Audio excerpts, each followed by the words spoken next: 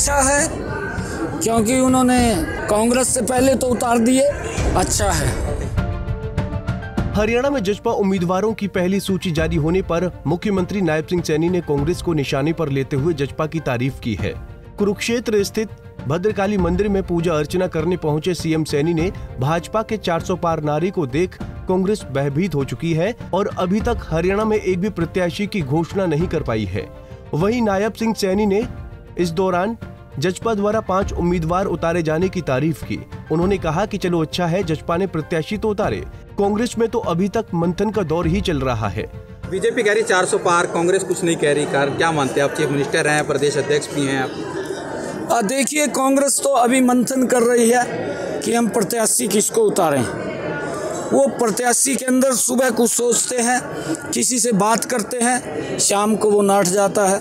उसको मालूम है कि नरेंद्र मोदी जी ने इतने काम किए हैं जो लोग श्रद्धा से नरेंद्र मोदी जी को तीसरी बार इस देश का प्रधानमंत्री बड़े मैंडेट से बनाएँगे।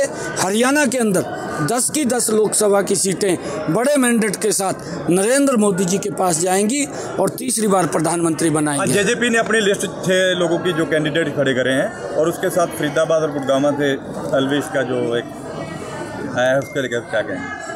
अच्छा है क्योंकि उन्होंने कांग्रेस से पहले तो उतार दिए। अच्छा है। भद्रकाली मंदिर में मुख्यमंत्री नायब सिंह सैनी के साथ कुरुक्षेत्र लोकसभा सीट से भाजपा प्रत्याशी नवीन जिंदल भी थे। इस दौरान नायब सैनी ने कहा कि कांग्रेस देश को तोड़ने की बात करती है और टुकड़े टुकड़े गैंग के लोगों के साथ खड़ी रहती है, जिसके चलते देश और हरियाणा की जनता कांग्रेस को फिर सबक सिखाने जा रही है। कुरुक्षेत्र से विनोद खुंगर, पंजाब केसरी टीवी। हमसे जुड़े रहने के लिए हमारे YouTube चैनल को सब्सक्राइब करें और नई वीडियो की नोटिफिकेशन के लिए बेल आइकॉन को दबाएँ। अगर आप ये वीडियो Facebook पर देख रहे हैं तो लाइक ज़रूर करें और ज़्यादा से ज़्यादा शेयर करें धन्यवाद